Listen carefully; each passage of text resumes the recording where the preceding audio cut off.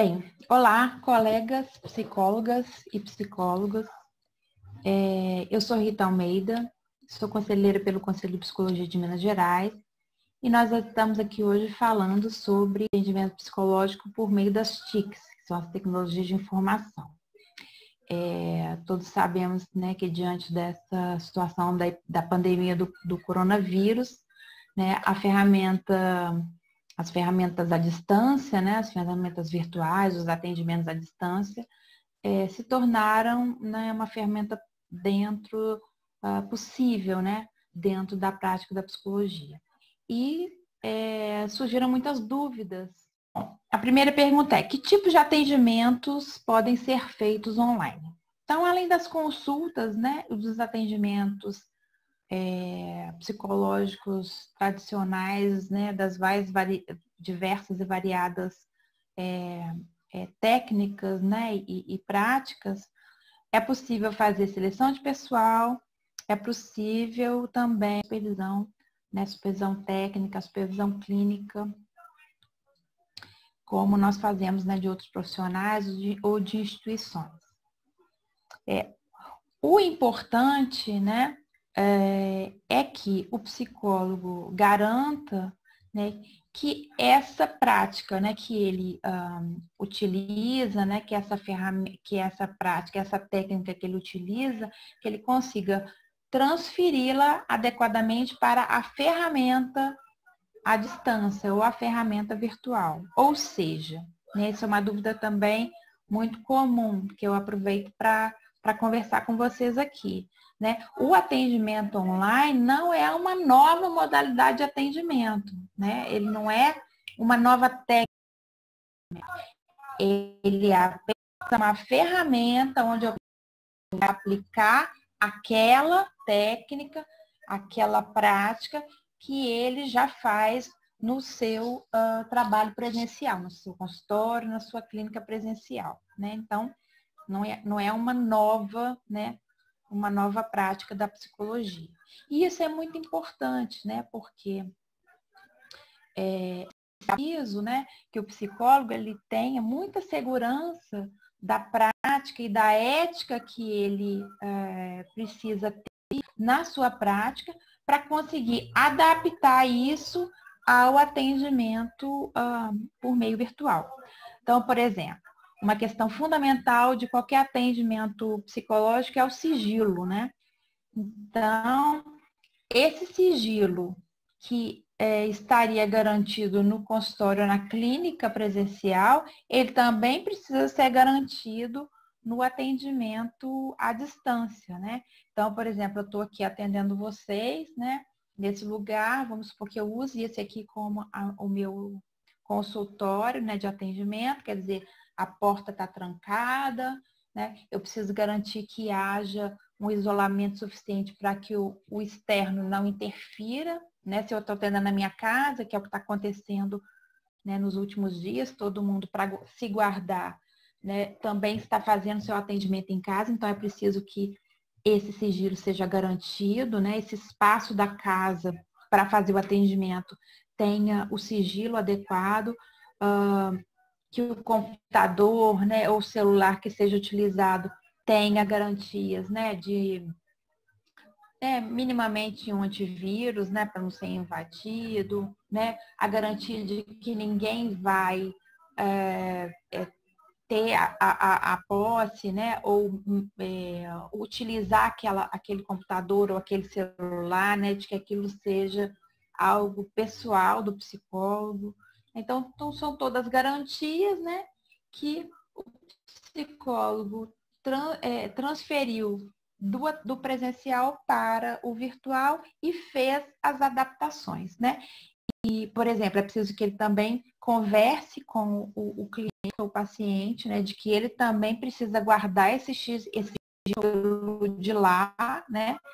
Então, eu guardo meu sigilo aqui e o paciente também precisa guardar esse sigilo onde ele estiver, né? Trancar uma porta, né? Também estar num ambiente onde ele não sofre interferência, né? Onde é, ele possa se sentir tranquilo e à vontade para fazer seu atendimento. Né? Então, são exemplos né, de formas de transferir né, a metodologia e a ética da prática presencial para a prática é, à distância. Né? É, uma outra pergunta é quais são os cuidados que o psicólogo deve ter para fazer o atendimento online? Bom, a primeira coisa é a questão do cadastro. Né? Você vai lá, faz o seu cadastro, o cadastro é autoexplicativo, ele tem lá os itens que você vai preenchendo, né? E a partir desse cadastro, ele está autorizado para fazer o atendimento. O que acontece é que diante da demanda, diante da situação do coronavírus, então, diante dessa nova realidade, durante 60 dias o conselho vai estar é, vai estar autorizando né, que os psicólogos atendam sem receber a devolutiva do cadastro. Então, você vai, faz o cadastro, né? E não chegando a resposta para você do cadastro, você pode fazer o, o, o atendimento, né? Porque assim que a situação normalizar, a gente durante 60 dias ter a validação do cadastro. Né? O que está acontecendo nossa, é, o site, né, onde se faz o cadastro, exatamente pelo excesso de demanda, ele também um, as pessoas estão reclamando que não estão conseguindo fazer o cadastro. Então, tenham paciência, tentem, tentem horários né, fora do horário de pico, que vocês vão cons conseguir pelo menos se inscrever. É, eu já falei um pouco, né? Outro cuidado que precisa ter é o cuidado né, com sigilo, os documentos né, que, que são precisos são exatamente iguais né, a, a do especial, que é o prontuário, né? O prontuário precisa ser guardado num lugar onde ele não tenha né, o acesso de outras pessoas né? E uh, todas as garantias éticas e técnicas, né, da sua prática, né, e das regulamentações e do e do e, e das uh, né, é, do conselho precisam ser obedecidas também. Nosso código de ética também precisa ser obedecido. Quer dizer, tudo como exatamente, né, como campo presencial. É, uma outra pergunta que, que é muito comum é, posso atender criança? Então, vocês virem lá pelo cadastro, é possível sim atender criança. Só que vocês também vão ter que ter esse cuidado, né, de acordo com o tipo de é, técnica e ferramenta que vocês utilizem. O objetivo desse atendimento, vocês vão ter que cuidar para transportar isso para o campo um, é, à distância, né? Bom, outra pergunta muito importante, essa tem a ver muito, uh, muito a ver com a nossa realidade agora, né? O atendimento online é recomendado para pessoas em situação de urgência e emergência? Bom, segundo a resolução, né? No caso de pessoas em situação de urgência e emergência, o atendimento online não é indicado, né? Obviamente, porque a gente não consegue fazer isso, né? Que é ou transportar né, um atendimento de, de, urgência e emergência, que demandaria, às vezes, até uma ação do corpo do, do, do, psicólogo ou do trabalho junto com outros profissionais, né, numa situação de emergência e urgência. Por muitas vezes o psicólogo não, não trabalha sozinho e ele precisa usar né, o, o a redução do espaço com o próprio corpo. Então, isso fica impossibilitado né, num atendimento é, à distância, né? Então, é por isso que é muito importante que o psicólogo faça entrevistas iniciais, né? Tem vários nomes, né, para esse, ou contrato inicial, né, para avaliar se aquele caso é indicado para fazer o atendimento é, é, à distância, né? Então, às vezes não existe né, uma limitação de quase nenhum tipo de atendimento, né, mas é preciso que o psicólogo tenha avaliação ética para se ele vai conseguir realmente né, uh, atender aquela pessoa, é, transportando, né, como eu disse, para uh, o, o, seu tipo, né, a sua clínica para o atendimento é, online ou atendimento à distância.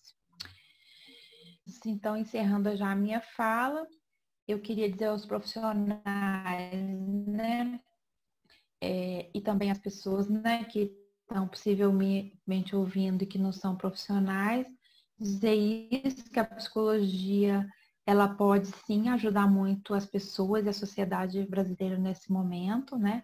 Mas ela precisa continuar né, respeitando uh, o seu código de ética, é preciso continuar respeitando as resoluções, é preciso é, o, o, o, profissional ele ter garant, é, é uma, uma, é, é, uma, uma, uma, se apropriar né, de uma forma é, muito devida da sua prática, da sua clínica, da sua técnica, né, para poder fazer isso com qualidade, com respeito, né, às pessoas, porque ah, é isso que hoje, né, diante dessa situação, é isso que a sociedade espera de nós, né, e é isso que nós do Conselho também esperamos dos nossos colegas psicólogos. Então, dizendo mais uma vez, nós aqui estamos trabalhando né, muito nesse período, é, fazendo reuniões, né, é, produzindo resoluções, produzindo documentos, boletins, vídeos, né, tudo no sentido de é, auxiliar os psicólogos para que eles possam, da melhor maneira possível, é, auxiliar o Brasil nesse momento. Então é isso, um abraço a todos e até a próxima.